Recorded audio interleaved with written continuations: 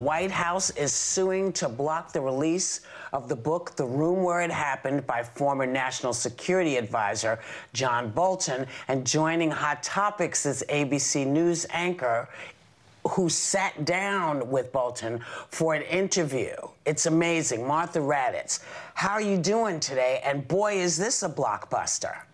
It is a total blockbuster. I'm telling you, page after page is just jaw dropping uh, what John Bolton says about President Trump throughout the book, throughout our interview, and there's lots more of that interview to come on Sunday.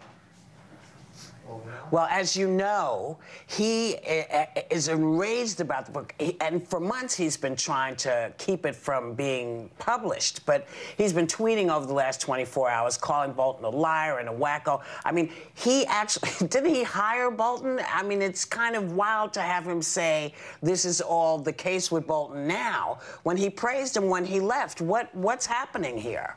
Well, well, he certainly did praise him when he left, but the president says he fired Bolton. Bolton says he resigned after 17 months. But the extraordinary thing here is this is the highest ranking person we have heard from who was in that White House, who was side by side with President Trump for 17 months. This is the most comprehensive account from that high ranking an official we have heard. And he, he uses frames, uh, phrases like President Trump is erratic, stunningly uninformed, ignorant of basic facts. He thought Finland was part of Russia, thought it would be cool to use military action in Venezuela. This is all what John Bolton is talking about. Martha Bolton is very candid in the book about his assessment of the president, as you just mentioned, and you asked him about that in your interview. I believe we have a clip. You described the president as erratic, foolish, behaved irrationally, bizarrely. You can't leave him alone for a minute. He saw conspiracies behind rocks and was stunningly uninformed. He couldn't tell the difference between his personal interests and the country's interests. I don't think he's fit for office. I, I, don't think he has the competence to carry out the job. There really isn't any guiding principle uh, that I was able to discern other than uh, what's good for Donald Trump's reelection. Now, based on details that have been leaking out from the book, Bolton goes on to say that the Ukraine call was that was at the center of Trump's impeachment charges was just the tip of the iceberg when it came to his abuses of power. He even describes an incident when uh, President Trump asked China's President Xi to help him win re-election in 2020. What have you learned about that? Well, what Bolton says is that uh, Trump asked President Xi to buy U.S. soybeans and wheat so he could get the vote in the farm state, so he could tell the farmers, look, I, I have this great deal. They're buying wheat and soybeans. And he said he heard Trump pleading with Xi to ensure he'd win. But listen to that statement again that you just played. He does not think that Donald Trump is fit to be president. That is an extraordinary statement from a top official, a former top official, about a sitting president.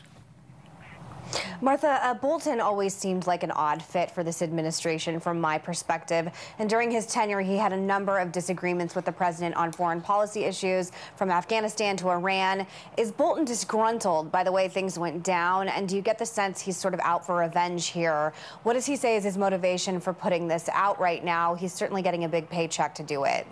You know, re- really good point because they were an odd fit from the very beginning. As, as you know well, Meghan, uh, John Bolton is kind of a hammer when it comes to foreign policy. And while President Trump uh, talks tough, he did want to get out of Afghanistan uh, and Syria and pull troops out of Iraq. And, and he definitely had clashes with John Bolton. But John Bolton will tell you he is not a disgruntled employee. This book, he says, is, is just about the facts.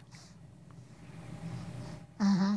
So, Martha, it's Joy. There were plenty of opportunities for Bolton to speak out back in January during the uh, impeachment trial, as we all remember, uh, when Democrats called on him to voluntarily testify, but he declined.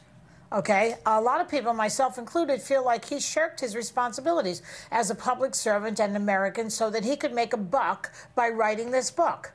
Uh, what does that? What does he say uh, to that criticism?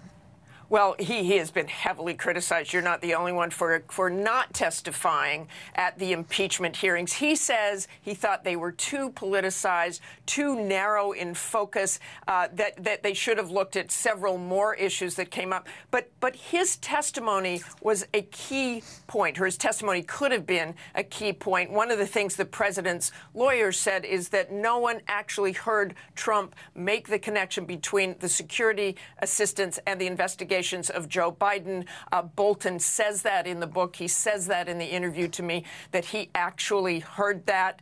Uh, the president, of course, you've heard is saying that's not true. That's not true. But but Bolton says he simply didn't think he'd make any difference. Uh, and now I think he's talking and writing this book. Says Bolton uh, because of the upcoming election. Right. Well, better late than never is what I say. Um, uh, he's defended his de decision for not testifying by saying it would have would have, wouldn't have changed anything. And in a way, I sort of think that may be true because even though it was pretty much proven that Trump went to Ukraine to help the, him with his reelection, a lot of the uh, uh, leadership in the Republican Party said that that was not an impeachable offense. So I guess it wouldn't have made any difference if he also went to China. Am I right? I, I, think I, I, think you've got a, a strong point there, uh, Joy. I, I, think he he does keep saying it wouldn't have made a difference, and the politicization of this. And it did seem going into this that a lot of people into the impeachment hearings that a lot of people had already made up their minds.